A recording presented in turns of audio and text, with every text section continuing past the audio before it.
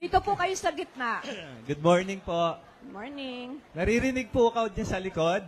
Hello. Naririnig po. Hello, dyan sa likod. Okay lang? Naririnig nyo? Ulit-ulit na naman eh. Ah, ako po si Dr. Pangan, ang ah, namumuno po ng Manila Health Department. No? Sino po rito ang pumupunta ng health center?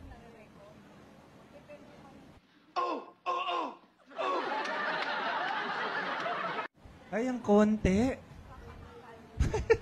Bakit? Ba't di kayo pumupunta? Anyway, ito po yung unang issue. Wait for it. Here it comes. Unang issue, sinasabi nila, hindi raw kayo tatanggapin pag hindi kayo naka-appointment. Ah, di ba? Hindi po totoo yun. Totoo daw, Dr. Pangan.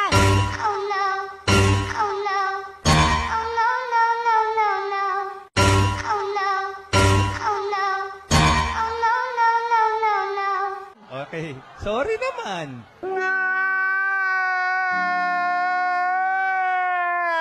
O, di sorry. Hindi po. Okay, okay. Paalala po ha, lahat po ngayon, tinatanggap po natin. Okay? Hindi totoo yan.